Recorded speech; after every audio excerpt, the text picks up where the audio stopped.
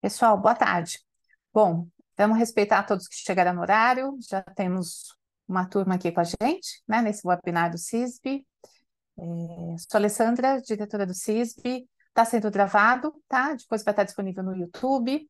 É, Bem-vindos ao nosso 13º encontro anual. Começou a semana passada, vai até a semana que vem. No final vou mostrar uma agendinha com vocês. Esse é mais um evento que a gente tem como objetivo conectar pessoas, mostrar muita colaboração Brasil-Suécia, é, divulgar oportunidades, sem dúvida nenhuma fomentar a inovação. Bom, esse é o nosso é, webinar sobre o programa CNPq CISO, SAB. É, hoje eu tenho algumas histórias de sucesso para compartilhar com vocês e também falar um pouquinho sobre a nona chamada e o cronograma dela no final. Deixa eu falar um pouquinho do CISP. Primeiro, vamos combinar uma coisa. Eu faço a apresentação, depois vocês perguntam no final, tá? Acho que fica melhor para todo mundo. Se vocês quiserem, podem colocar no chat, eu vou lendo e dá tudo certo. Bom, deixa eu falar aqui sobre o CISP. Bom, nós somos uma associação privada sem fins lucrativos, focada em implementar pesquisa, tecnologia e parcerias em inovação. Fomos fundados em maio de 2011, estamos em São Paulo. Consideramos que a organização ela é muito simples, ágil e lean, né? Somos três funcionários, dois ou três consultores aqui nos apoiando e trabalhamos é, bem no conceito da hélice tripla. Bom, como associação, eu preciso falar quem são nossos associados, né? Aqui do lado esquerdo, várias várias empresas, grandes empresas, não só da Suécia, mas do Brasil também, Saab, Scania, Vale, é, Suzano, Ericsson, quem mais? Volvo, estão aqui com a gente, várias universidades, grandes parceiros dessas empresas suecas, tá? Uh, KTH, Linköping, Chalmers, Lund, hoje em dia tem Karolinska Instituto da área de saúde, por aí vai, tá? Do lado direito são os nossos inúmeros parceiros na Suécia e no Brasil, sem eles não seria possível a gente realizar tantas atividades e tantas iniciativas. CNPq é um dos principais, com certeza. Bom, o que, que nós fazemos? Nós criamos um ambiente que estimula a colaboração, conectamos pessoas e atores do Brasil e da Suécia por meio de eventos, reuniões, anual é um grande exemplo, tá? Atraímos muitas ideias de projetos que podem ser de interesse dos nossos associados. O programa de bolsas é um exemplo, vocês vão ver isso claramente. É, achamos oportunidade de financiamento para projetos conjuntos bilaterais para os nossos associados, tá? Facilitamos corporate venture é, nas duas direções, ou seja, startups suecas com corporações brasileiras, startups brasileiras com corporações suecas na Suécia, tá? A gente tem um programa para isso.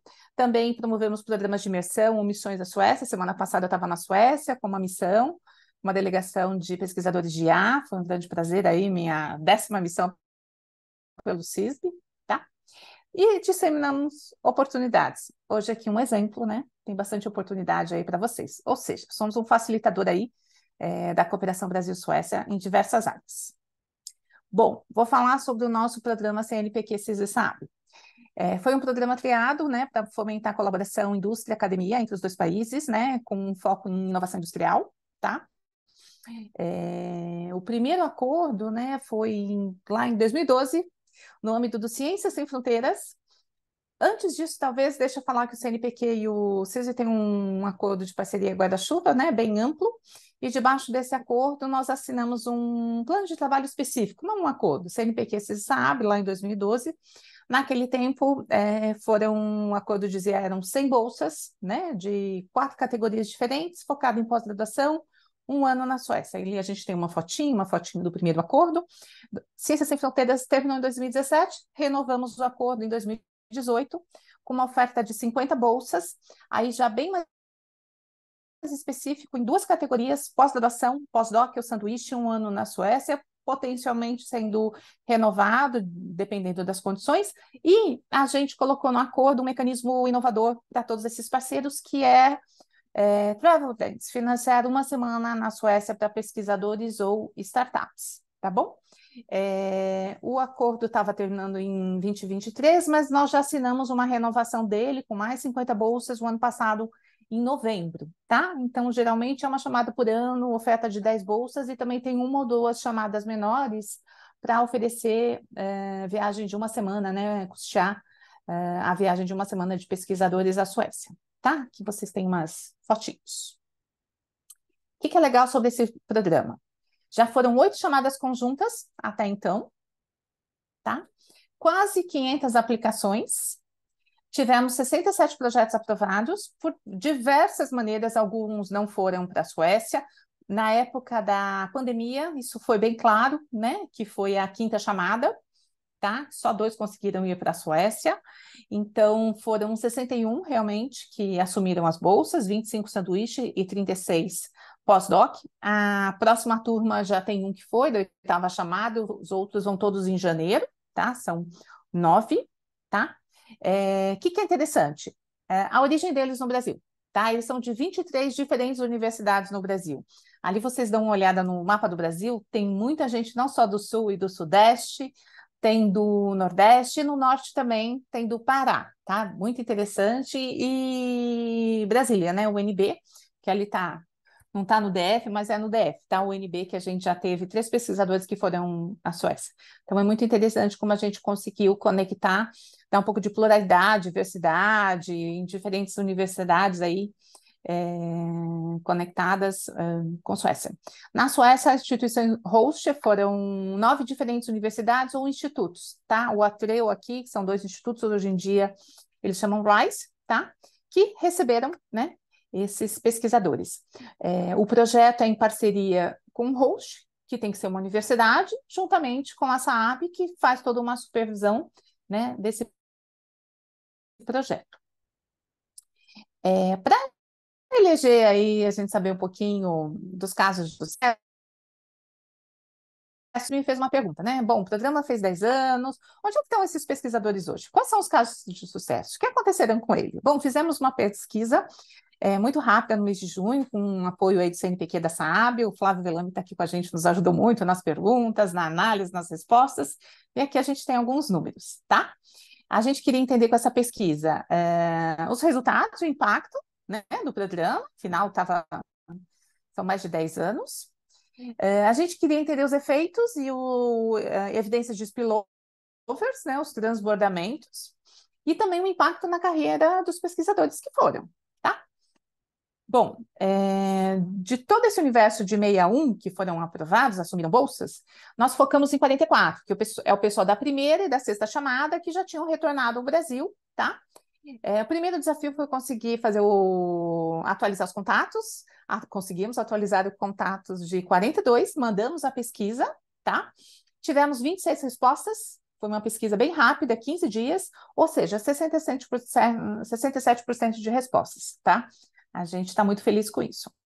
É, sem dúvida nenhuma, vamos a, aos nossos achados. Um expressivo número de artigos e presença em conferências, eles relataram. A maioria afirmou que foi muito importante é, é, o programa na questão de treinamento, né, de formação dos pesquisadores, sem dúvida nenhuma. Muitos pesquisadores que, quando foram, estavam num momento assim, de início de carreira, nos jovens pesquisadores vários fazendo sanduíche ou já um pós-doc, mas muitos ainda não eram professores em universidade públicas, pública, por, por exemplo, tá? É, a gente tem evidências de patentes, duas, tá? Que eles relataram. Uma companhia, né, uma startup foi criada como um spin-off de um dos projetos, a gente ficou super feliz com esse relato, tá? 80% deles uh, confirmaram para a gente que ainda tem relacionamentos com os grupos, né, que eles tiveram contatos quando eles estiveram na Suécia. Então, a gente está falando sobre continuidade, formação de rede, o que é muito importante, que é um dos objetivos do programa, tá? E 50, 57% afirmaram que continuaram o projeto que eles realizaram na Suécia com os grupos de pesquisas é, suecos após o retorno do Brasil, o que é uma excelente notícia, né? Não houve uma desconexão total, tá? É, e aí que a gente fala muito sobre os efeitos, né? E sobre os potenciais transbordamentos dos spillovers.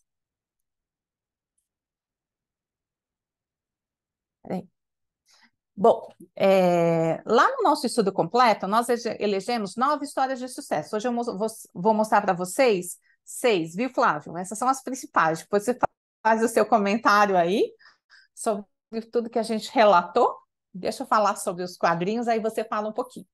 Bom, vou falar primeiro da professora Emília Villani, lá da primeira chamada, tá?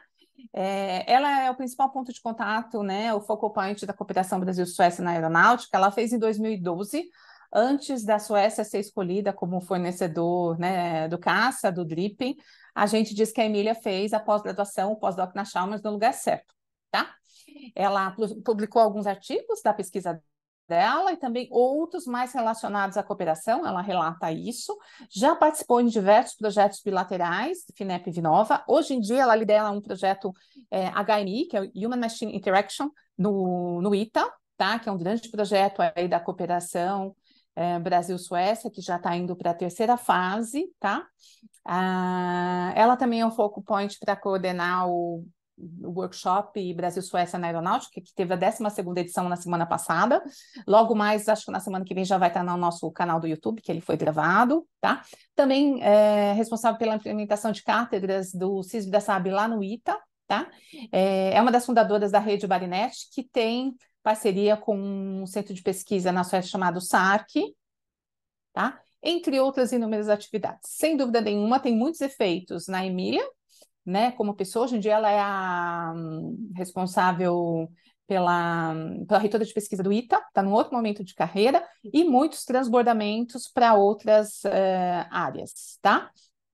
O Renato Machado, é o que eu posso te dizer, ele foi no momento que ele era um pesquisador jovem na Universidade Federal de Santa Maria, hoje em dia ele está no ITA, num outro momento, liderando uma, um grande grupo de pesquisa na área de radar e que já teve muita colaboração e um grande, uma grande mobilidade entre pesquisadores de, da Federal de Santa Maria, do ITA e a BTH na Suécia, tá? Foram, já teve cinco projetos apro aprovados né, nessa cooperação na área de radar SAR, tá?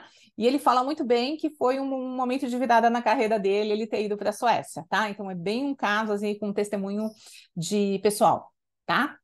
É, da quarta chamada, a gente tem o professor Danilo, da Federal do ABC, tá? Ele também era bem jovem, lá, início de carreira, acho que ele tinha, estava três anos só na Federal do ABC quando ele foi, ele é da quarta chamada, já teve muitos artigos publicados, vários projetos financiados pela Vinova, Finep, FAPESP, tá? No âmbito dessa cooperação, já coordenou alguns objetos é, alguns workshops com a gente na área de nanomateriais e grafeno, e eles têm algumas colaborações em curso, em curso e de expandir isso, tá? Então, ele fez o pós-doc na Chalmers, hoje em dia ele tem colaboração com a Chalmers, com a Lean Shopping, com a Saab, com uma pequena empresa, é, que mais? Com uma startup ele também já teve, ele é, trabalha junto numa agenda que não é a agenda da, da aeronáutica, a gente fala que é a agenda de grafeno, na Suécia chama CIO grafeno, tá? E que tem, pode potenciar uma aplicação não só na aeronáutica, mas, por exemplo, na área de automobilística.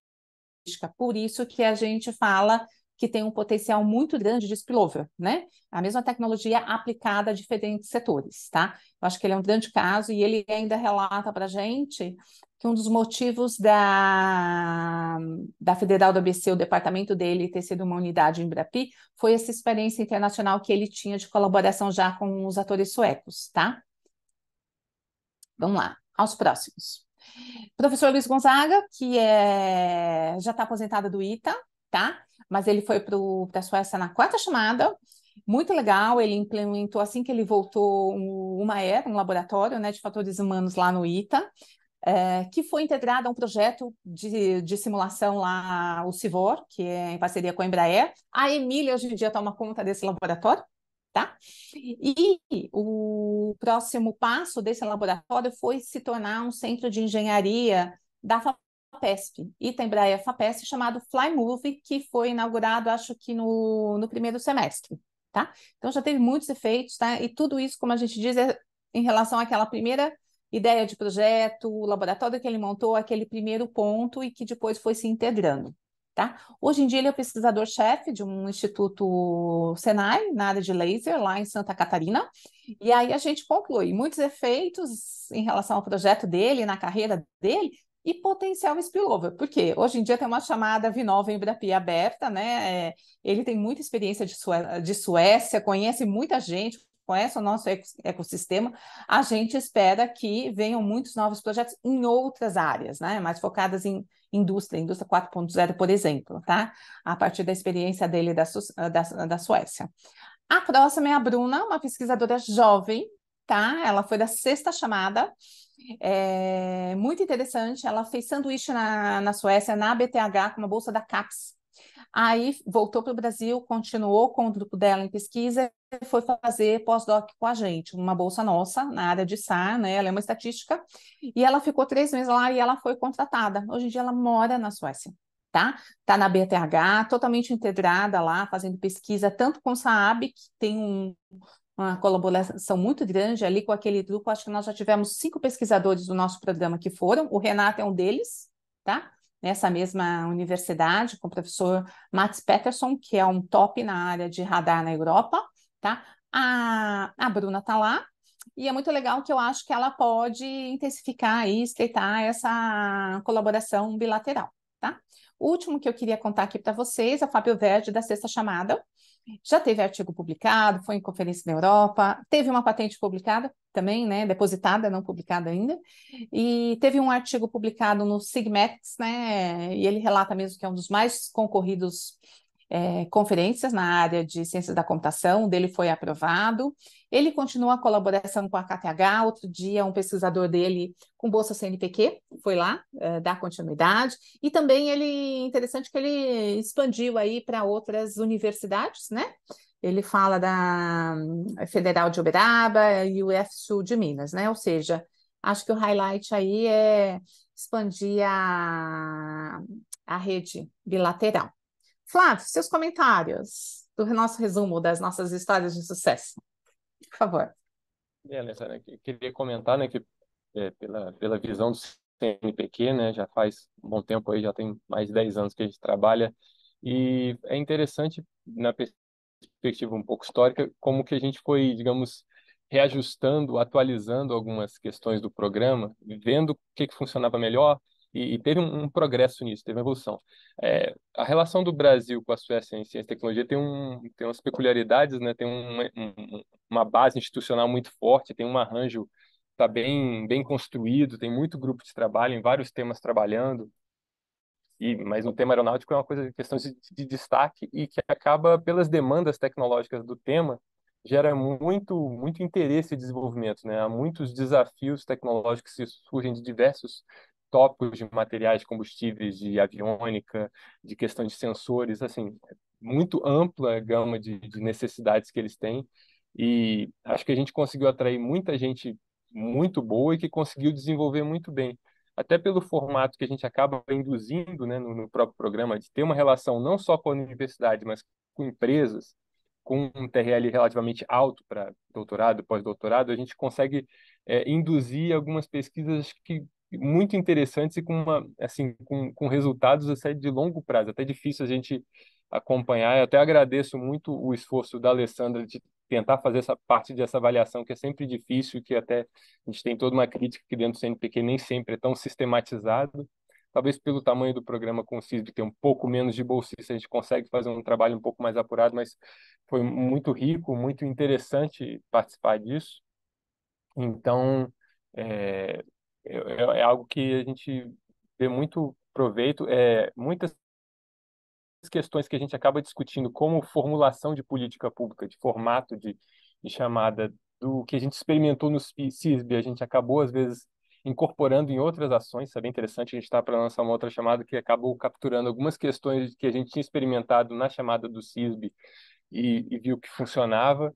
É, então, é, é, é, muito bom e a gente espera conseguir progredir nisso e acabou que nesses contexto de, de Covid, restrições, ao mesmo tempo abriu-se portas para meios de colaboração um pouco diversos, né? A gente percebeu muitos projetos que acabaram em algumas fases andando de forma remota, né, com a interação entre os pesquisadores brasileiros e suecos avançando em alguns períodos de uma forma sem a interação presencial, mas que depois eles encaixaram na agenda um cronograma. Então também é um é uma situação bem interessante que aconteceu e que às vezes a gente está aprendendo a lidar com algumas circunstâncias dessas. meu colega o Henrique, que também está trabalhando comigo, acho que está por aqui, mas eu não sei se ele está sabendo que ele está eh, na reunião, porque eu acho que ele está transitando um pouco aqui a câmera dele. Mas é, então a gente está incorporando mais gente aqui para conhecer também a iniciativa do CNPq CISB também e, e, trabalhar e seguir avançando. Então eu agradeço e, e são alguns realmente dos exemplos. A gente tem outros. A gente acabou semana passada, a gente acabou de ter um caso que a partir do, do, do programa CIS, CNPq CISB SAB, a gente teve uma, uma formalização do programa de cotutela entre o ITA e o KTH. Uma coisa muito importante, tem muita perspectiva. Isso mostra o grau de maturidade da cooperação institucional entre essas agências importantes, essas instituições de pesquisa muito importantes. Então, você vê como que as coisas podem se desenvolver e, e seguir avançando. Parabéns aí. É. Obrigado. É. Obrigada, Flávio. Sem dúvida nenhuma, né? Acho que outro transbordamento, isso é bem recente, por isso que eu não comentei. A Graciete também, ela é da oitava chamada, eh, da sétima chamada, ela está lá ainda, né? Que é recente, é ter conseguido em pouco tempo assinar a cotutela, né? Colher aquele monte de assinatura, chegar para vocês no prazo de, da renovação, acho que é um super caso, né?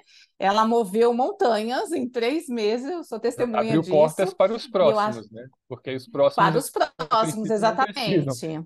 Correr atrás, já tem esse ambiente é, pronto. Porque, é, Exatamente, para os próximos o caminho está aberto, né? Você ter dupla titulação, né? Tanto na KTH quanto ITA, e não, não precisamos falar, né? Que de, de toda a nossa estatística, o que tem enviado mais pesquisadores é a turma do ITA, e faz sentido por a gente ser bem focado na área da aeronáutica, mas eu também acho que tem, tem gente do Brasil todo, é, esse é um dos objetivos, né? A gente dá capilaridade, diversidade. O sueco busca muito isso quando pede para a gente, a gente tem conseguido, mas eu também acho que a gente levou estrelas, né? O Gonzaga é uma estrela, a Emília, o Danilo, vários são amigos e eles estão fazendo muita coisa aí.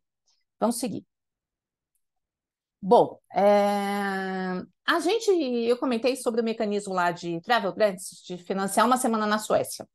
O ano passado, com esse mecanismo, foram duas missões, tá? É, uma em maio e outra em setembro. A missão de maio foi focada em pesquisadores focados em inteligência artificial aplicadas na aeronáutica, em outras também com desdobramentos, tá? E startups, tá? De, com tecnologias de IA, com diferentes tipos de tecnologia. A gente fez uma breve pesquisa também para entender o impacto dessa missão de uma semana no que tange a geração de projetos, projetos aprovados e a gente tem boas notícias e a gente prova que é um excelente mecanismo, tá? A gente financiou, então, pesquisadores, a missão de maio, Flávio era o convidado especial, estava com a gente, nós éramos para ter em nove, fomos em 18, muitos convidados especiais, e aqui estão alguns resultados, tá? O professor Frederick Heinz uh, já veio ao Brasil, e em função de ter conhecido pessoas ali na delegação em maio, ele está planejando cursos de A aqui para duas diferentes instituições do Brasil tá? A gente, com o pessoal que estava na missão, com um pesquisador, é, ele encontrou parceiros, escreveram um projeto, aplicaram na chamada Eureka Global Star, de Nova FAPES, e foi aprovado. Se ele não tivesse ido, não teria encontrado o seu parceiro, discutido, é isso que a gente pensa e já ter tido um projeto aprovado.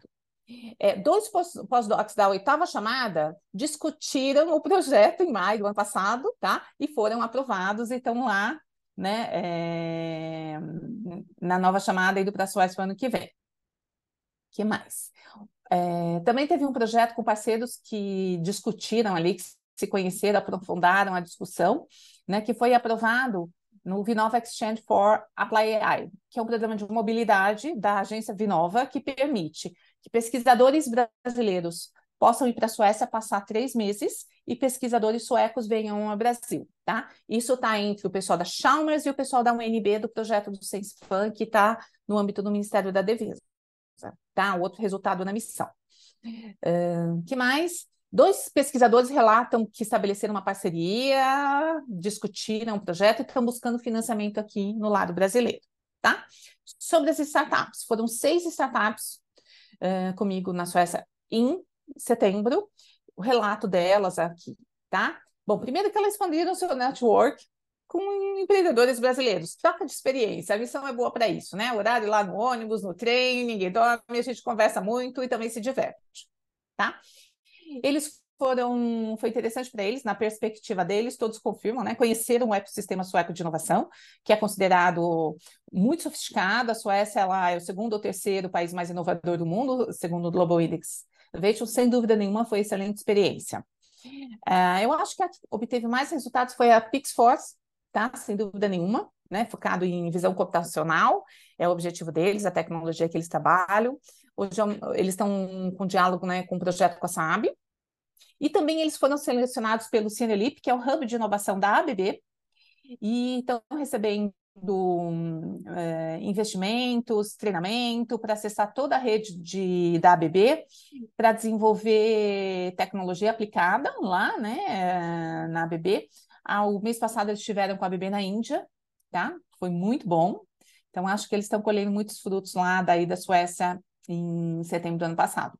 A outra que eu tenho destacado também é a Aquarela Analytics, que ela teve um projeto aprovado com a Scania no Brasil, na Suécia, e atualmente está discutindo aí um projeto com a Saab. Ou seja, a gente está, por meio desse mecanismo, ajudando na internacionalização das nossas startups, todas eram muito maduras, já scale-ups, não eram em early stage, e eu acho que, sem dúvida nenhuma, eu não preciso falar palavras o quão importante é internacionalizar as nossas empresas, essa experiência que eles estão adquirindo, e espero que isso seja muito mais frutífero ainda. Bom, é, sobre a conclusão aí do nosso pequeno estudo, tá? É, eu acho que o programa é um programa integrado, dinâmico, né, com uma visão de longo prazo, sem dúvida nenhuma, né? Começou lá em 2012, mais de 10 anos, e tem todo esse dinamismo e troca de experiência, desdobramentos para outras iniciativas do CNPq e também é, apoio né, na definição de políticas públicas, como o Flávio muito bem falou. A gente pode observar a disseminação do conhecimento e o impacto do programa no nosso ecossistema, né? Vamos lá falar do laboratório do Maer, que uh, anos depois virou um CPE, né? Juntamente com, com a, a Embraer, né? O Barinet, que é uma rede, é uma rede formada, ele não virou um eh, centro virtual, mas ele é uma rede de ex-pesquisadores. Então, tem a Emília, tem o Simine, que foi bolsista da chamada 3, tem o professor Vitor Denedri, que não foi bolsista, mas ele já teve seis bolsistas é, do grupo dele, do Lachip, da, de Santa Catarina, que foi a Suécia para o Olin Shopping, e mais o professor catalano de São Carlos. Eles são os líderes desse, dessa, dessa rede, que tem trabalhado muito com um centro uh, SAC da Suécia, quer seja em workshops, quer seja em competição, é, em cursos no Brasil, cursos na Suécia. Então, acho que é um desdobramento muito forte. E nada melhor liderar quem já esteve na Suécia, morou por um ano, conhece pessoas e conhece aquele ecossistema, tá? E, sem dúvida nenhuma, vários desses pesquisadores participam de projetos bilaterais, que são os dois por dois, onde tem a indústria. O caso da Emília, do professor é, Luiz Gonzaga, uh, do Danilo e muitos outros, tá? Sem dúvida nenhuma, esses ex-pesquisadores, eles formam a nossa comunidade bilateral Brasil-Suécia, né? Consigo acessá-los, conversar com vários, olha lá, a gente teve um bom nível de resposta, não teve mais, porque eu estava saindo de férias para encerrar mesmo, tá? Senão eu continuaria ali no meu follow-up no LinkedIn, acho que eu conseguiria é, um índice ainda maior de respostas, mas daqui dois anos a gente vai fazer de novo, com certeza um, outros finds é, serão encontrados? É, legal também colocar a visão da SAB, né?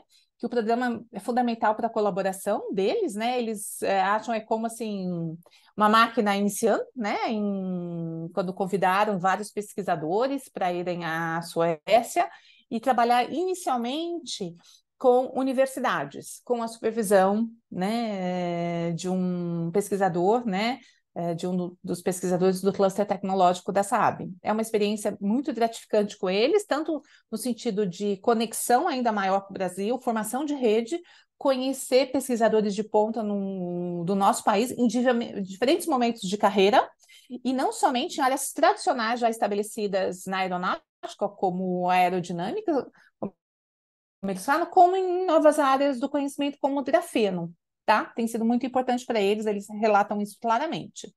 E com relação ao modelo, eu acho que a gente prova que ele, ele é muito dinâmico, né? E a gente ter ofertado essa Travel antes uma semana é, pôde assim amplificar os resultados, né? No sentido de ter aplicações de bolsas, novas conexões, novos potenciais de projetos de uma forma muito rápida surgindo aí né, no âmbito da cooperação. Eu acho que é um mecanismo aí muito importante também. Aqui, só falar o que, que a gente tem aqui de chamadas, né? Atualmente a gente tem uma chamada aberta de Travel Threads, né, para startups de A. É, fecha dia 28, 28, 29 de novembro, tá? Está aberta lá, ali é o link. E aqui a gente tem, estamos aí aguardando a abertura da nona chamada de projetos CTI, CNPq vocês sabem, né? Vamos ver se conseguimos lançar até 28 de novembro, estamos aí, né, muito expectativa. O ano passado a chamada foi lançada 23 de dezembro, então eu diria que novembro, dezembro ela está sendo lançada. Assim que ela for lançada, eu vou fazer um outro webinar com todos os detalhes, o apoio que a gente dá na conexão para todos vocês, tá bom? que mais? Falar aqui sobre o nosso Annual Meeting, tá? Que começou dia 6, tivemos um evento aqui em São Paulo, com KTH, é, Karolinska e várias universidades, Life Science e Engenharia trabalhando juntos em inteligência artificial e machine learning. Tivemos o 12º workshop em aeronáutica semana passada, isso aqui, os efeitos, tá? Uh, no mesmo dia, em paralelo, teve o workshop de inteligência artificial e uh, Autonomous Systems, tá? Uh, que mais? Hoje nós temos o nosso webinar. Na terça-feira eu estou em Curitiba. Existe um projeto celebrando 10 anos, Smart City Concepts em Curitiba. Foram três fases de projeto. Eu estou lá juntamente com uma delegação sueca e os atores que participam, discutindo os resultados, os achievements e o futuro dessa relação aí. A semana que vem tem bastante coisa em Florianópolis, tem uma delegação sueca que vai estar aqui, focada em aeronáutica no cluster aerospace de Florianópolis, lá que é a CERT, a Federal de Santa Catarina. Tem o terceiro workshop do SC2C Aero, que vai ser 23 e 24, na quinta e sexta. E tem o workshop do SAC Barinete, que vai ser na quarta e na sexta ele será híbrido. E o workshop do SC2C Aero, ele é presencial, tá? Se vocês quiserem saber mais informações, inscrições, é só olhar lá no nosso hot site do Anual Meet. que mais? Outra oportunidade também. Para quem quer colaborar, colaborar com o Suécia, achar parceiros, existe uma plataforma, Sweden Brasil Collaboration, né, o Bit2Match, tá? Que está aberta, esse é o link. Lá tem muitos brasileiros e suecos, vocês podem marcar uma agenda virtual, uma reunião online, encontrar parceiros, tem pesquisador, consultor, SME, tá? dos dois lados, e vai ter um evento de presencial de matchmaking com o pessoal nessa, dessa plataforma na semana que vem em São Paulo, dia 23 do 11. Eu recomendo vocês dar uma olhada, se cadastrar.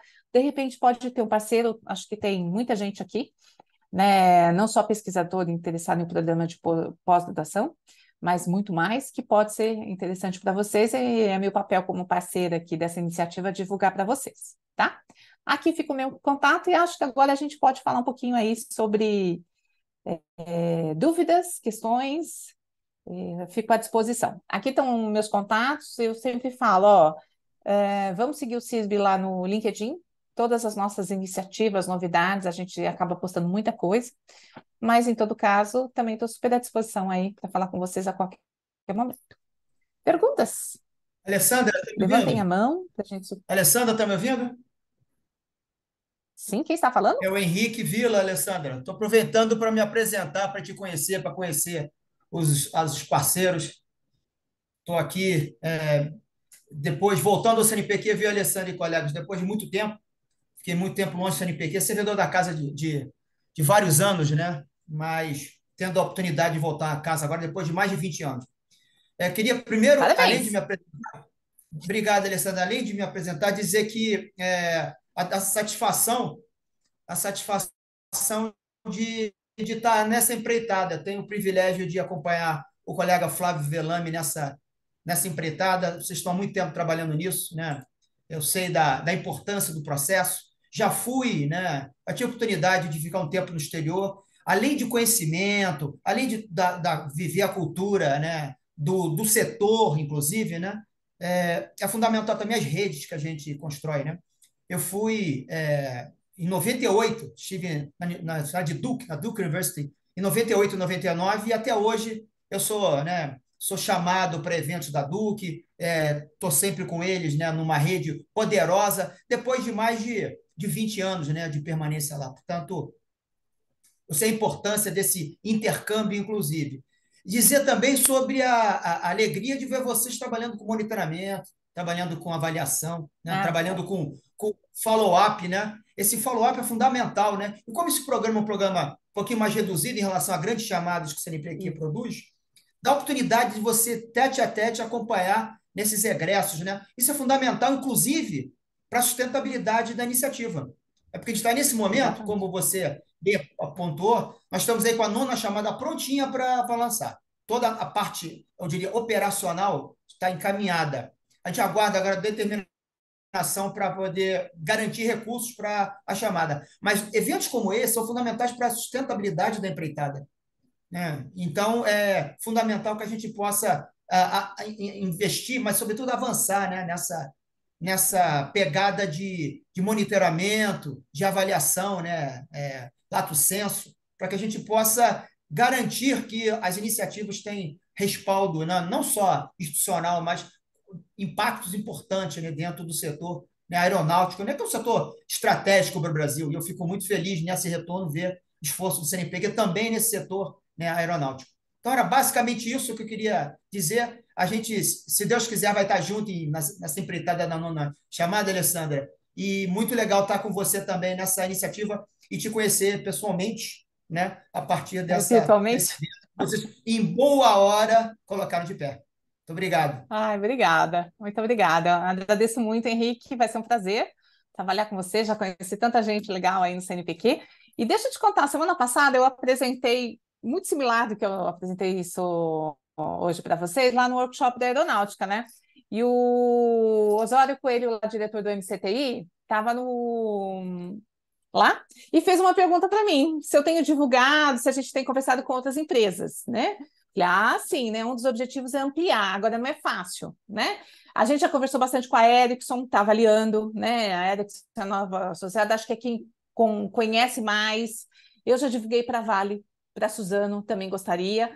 Hoje eu estou com um diálogo muito forte com a Clabin, que eu acho que é um excelente mecanismo, assim, a gente usar a mobilidade, bolsas, porque no final são pessoas, são pessoas que vão formar a rede e depois de algum de alguma maneira elas, elas se integram ainda mais, né, com os desafios da empresa.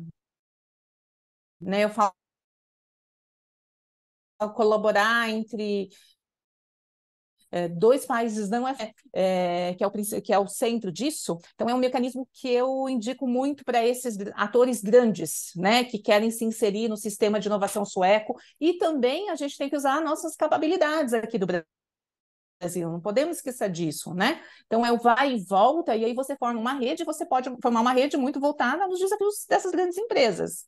Enfim, são desafios, você não sabe onde está o conhecimento, a capability que vai resolver, mas a gente precisa de redes globais trabalhando, né? Eu sempre indico, principalmente pelo investimento que você faz, o retorno que ela pode te dar, mas olhando o médio e longo prazo, que essa é a experiência da SAV, isso é o legal, né? Então a gente tem que pegar, eu acho assim, na perspectiva de uma grande empresa, olhando o P&D dela, né, seus desafios, no médio e longo prazo, acaba sendo um programa pequeno desse muito bom né?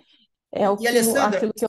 você me Diga. permite só complementar, além da importância do, do setor aeronáutico né, para a economia brasileira, o Brasil hoje é uma das lideranças nessa área, com a nossa Embraer, é importante também ressaltar que para a defesa, o Ministério da Defesa, o Sistema de Defesa Nacional, uma iniciativa como essa, ainda que seja né, numa escala reduzida né, em relação ao que poderia ser, né, é fundamental para a defesa. Então, quer dizer, o potencial desse programa é muito grande né, para diversos setores de interesse é, da economia brasileira e da, da, da, missão estratégica do Brasil no planeta. Né?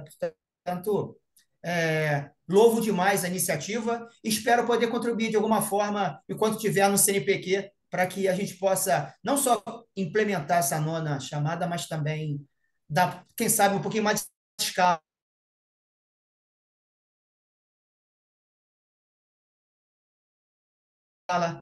no programa.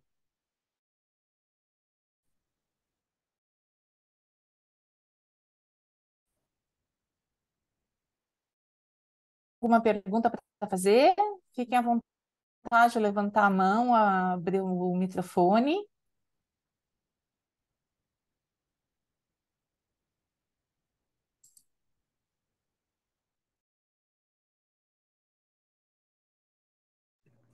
Olá, tudo bem, Alessandra? Estão me escutando? Alô? Estou te ouvindo sim, estou te ouvindo bem. Está me escutando? Estou te ouvindo bem. Ah, tá. É, certo. Olá, tudo bem? Oi, José. É, eu sou. É, você me conhece, né? Eu não sei se você me conhece, mas eu, eu, eu sou José, eu, eu fiz meu doutorado na Universidade de Uppsala, né? Ah, Eu, eu legal. vim para cá, para a Suécia, em 2016, certo? Hum. E fiz o doutorado em física computacional. É, em 2020 eu finalizei o doutorado e iniciei um pós-doc, um pós-doutorado em inteligência artificial com o professor, professor Frederick Hans, na Universidade de Linköping. Que né, legal. que durou por dois anos. Foram dois anos de, de pós-doc. Né? E eu agora eu tô em Uppsala, estou como visitante, não estou com, como bolsista nem nada, porque para algumas posições de, de, professor assistente, também de pós-doc, estou aguardando. Hum. Eu queria saber se essas chamadas, é, tem chamadas que incluem pós-doc também? É, as próximas chamadas que vão abrir. Sim, é, toda chamada Uhum. nossa geralmente são sete bolsas para pós-doc, tá? E Ah, três bolsas para sanduíche, tá? Toda Uhum. chamada. Ela é, é esse o conceito. Inteligência artificial aplicada na aeronáutica é uma, é uma das áreas Uhum. target, tá? sim. Na chamada sétima foram dois aprovados. Na Uhum. chamada oitava foram quatro em inteligência artificial. Uhum. Tá. Certo. É, então, é foco sim. Tá, legal. E, e geralmente as universidades têm, têm uma certa flexibilidade é, ou precisa ser necessariamente as universidades envolvidas dentro do programa? Não, todas as universidades e institutos, Ah, todas estão envolvidas. todas estão cadastradas, né, né, Flávio? Uhum. Todas, eh, depende muito mais, assim, ó, quando abrir a chamada, a gente sempre diz assim, a gente tem um formulário lá que você preenche, se você não, se você já tem um orientador, um Uhum. host, é, é mais tranquilo, mas você precisa ter um supervisor da SAAB, Ah. que vai olhar o seu projeto Hum, vai dar um de certo. acordo, vai te dar uma carta. Hum, tá tá? Obrigatoriamente, tá? Porque o programa é em Uhum. parceria com a SAAB, a gente tem uma bolsa do CNPq e a SAAB complementa 50% o certo. valor da bolsa, tá? Então, sem a carta e a supervisão da SAAB, não vai ser Certo. Elegível, né? O- Isso é só uma- lá na chamada. E geralmente o projeto vem da SAB ou eu escrevo o projeto e aí entra em acordo? A proposta vem geralmente Geralmente vem do do pesquisador. pesquisador. Tá? Tem muitos pesquisadores que já têm algum relacionamento com essas, Uhum. essa colaboração já antiga, por exemplo, na área de radar, já Uhum. vem muita coisa que vai escalando, na área lá do LaChip com a Shopping também, né? Hum, É, que é sistemas de atuadores, né, na aeronáutica. uhum. Agora, a SAB está sempre aberta, né? A área do grafeno começou do zero, já tem dois ali nessa chamada que, Certo. que foram aprovados. São exemplos, tá? Mas Certo. Pode partir de vocês. eh, A gente tem um canal para Uhum. isso, tem um formuláriozinho, preenche, e a gente conversa. Eu tenho Certo. uma pessoa na SAB que coordena, que coordena todos os clusters tecnológicos Uhum. e verificam se tem interesse ou não. Pode ser que sim, pode ser que não. Certo. Tá, certo, certo. É porque eu moro em Uppsala, então seria mais interessante na região de Estocolmo, KTH no caso, ou Uppsala, né, na universidade, na, na universidade Sem problema Uppsala, nenhum. caso. Mas é isso, é. Pronto. E, e com relação também à empresa, a empresa ela precisa ser necessariamente uma empresa, é, as aplicações com empresa precisam ser empresas no Brasil ou podem ser empresas na Suécia também? É, com a SAB. O programa que ser é sempre com a SAB. porque o programa é cofinanciado com ela. é, é De porque tem as é outras Ah, de chamadas que são... É, mas as, as chamadas para as chamadas vinculadas a empresas também tem vinculado à empresa, não? Não é só de pós-doc, tem outros tipos de chamada. Deve estar Não, falando das aqui a gente visitas. tá- Oi, Uhum. Flávio?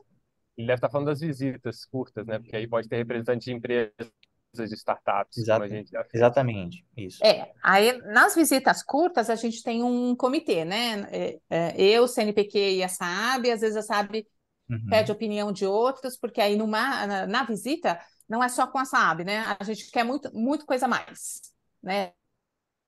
É do que Uhum. isso, né? Sim. Mas sem dúvida o core acaba sendo a SAAB, tá? Uhum. Mas a gente vou te dar um exemplo. A semana passada a gente estava com pesquisadores de IA, né? Então, Sim. teve SAB, teve Ericsson, fomos na KTH, no Digital Futures, acho que você conhece, uhum. fomos na Lean Shopping ali com o grupo do WASP, do Frederick Heinz, uhum. teve gente que foi na Scania, teve gente que uhum. foi, teve reunião com a Volvo, então vai desdobrando, é. né? O core é sabe, mas depois eu com um grupo, a gente vai uhum. montando uma agenda com o máximo de visitas possíveis que seja interessante conhecer pesquisadores, pode uhum. sair muitas ideias e também com empresas uhum. que são ou certo. associados do CISB ou próximos de alguma forma, tá? Então é tá. é assim que a gente certo. trabalha. Tá, tá certo. É, Imagina, muito obrigado. de pós-doc, especificamente, a, a chamada ainda não lançou, mas a gente espera uhum. lançar em breve mas eu poderia de, de imediato recomendar você dar uma olhada à chamada anterior, a 72 certo. 2022, porque eu, isso eu posso dar o spoiler que não vai ter muita diferença. Então, a, a, forma Pronto. de submissão, a estrutura, que tipo de documento, e, e aí essa, adiantar essa questão do contato com a SAB, quanto Excelente. antes você adiantar, fica melhor para você poder fazer esse diálogo, certo. né, possível, uhum. e evoluir para uma questão mais madura de projeto. A gente sempre tenta deixar a chamada aberta o máximo possível, bem, menos, bem uhum. mais do que o regulamentado aqui, para a pessoa ter um tempo de formular, né, de conversar com o um parceiro e conseguir construir alguma coisa sem ser uma correria muito grande. Então, certo. mas podendo se antecipar é bom. Tá certo. Muito obrigado, Flávio. Né. Então a gente mantém prazer, contato, né? Tá, prazer. Com certeza. É, que mais? Alguém mais tem perguntas?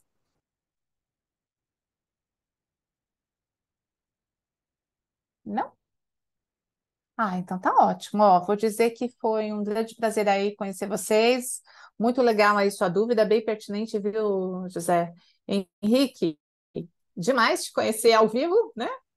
É, não só trocando e-mail, e estamos juntos aí no desafio da próxima chamada. Esperamos novamente ter muitas aplicações e muitos bons projetos aí para essa rede, tá? Ó, o Flávio está colocando o contato, o meu contato, vocês vão receber essa apresentação. É, logo mais a Maria manda para vocês. Também nosso webinar vai estar tá no nosso canal do YouTube. Foi um prazer aí conversar com vocês, viu? Super fim de tarde, tá? Satisfação. Alessandra, até breve. Colegas, até breve. Obrigado. Até. Um abraço a todos.